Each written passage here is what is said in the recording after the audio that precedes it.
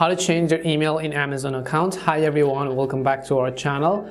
I am Bimal from How to Geek and in this guide video I'll show you the way as to how you can change your email on your Amazon account. But before we get started with the video, if you are new to our channel, make sure to leave a like and hit the subscribe button. Without any further ado or delay, let us get started with today's video. So if you want to change your email on your Amazon account, it's actually very simple.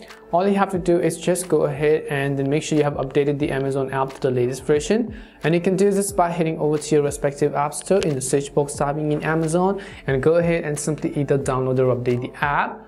Once you've updated the Amazon app, I want you to go over and then simply open it up. The next thing you want to make sure is that you are logged into your account and after you are logged in, you can see this is how it is going to look like. Just tap on your profile icon which is at the bottom of the screen and once you come to this profile page, tap on the option called your account which is at the very top. Once you go to the your account page, right over here under account settings, you'll find a section that says login and security. So just tap on login and security over here. As you tap on login and security, you can see the option called email. So in order to change this current email, just tap on this edit button and right over here you want to make sure to enter the new email address that you might want to use. So just go ahead and then enter the new addresses over here.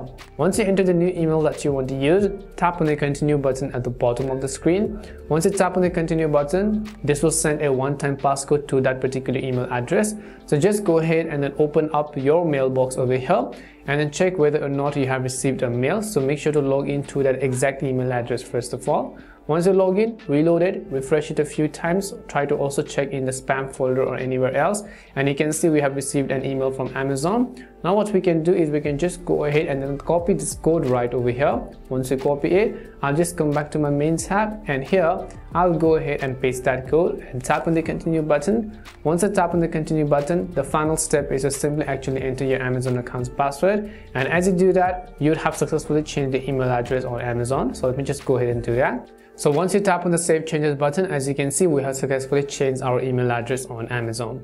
This is how you can change your email for your Amazon account. We hope the video was really helpful. And if it did help you, then make sure to leave a like and subscribe to the channel. If you have any more questions, queries, or doubts, then make sure to also leave them down. Thank you very much for watching till the end and see you soon in our next video.